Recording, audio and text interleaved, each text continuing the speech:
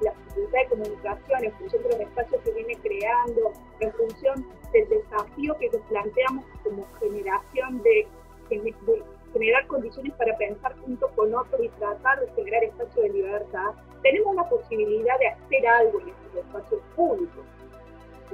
Porque eh, no es menor eso en relación a cuestiones de investigar, decir sí o no algunas cuestiones, tener libertad para plantear cómo pensamos algunas líneas de trabajo, trabajar con libertad en las aulas y demás. Mi preocupación es, en este punto, nosotros mismos.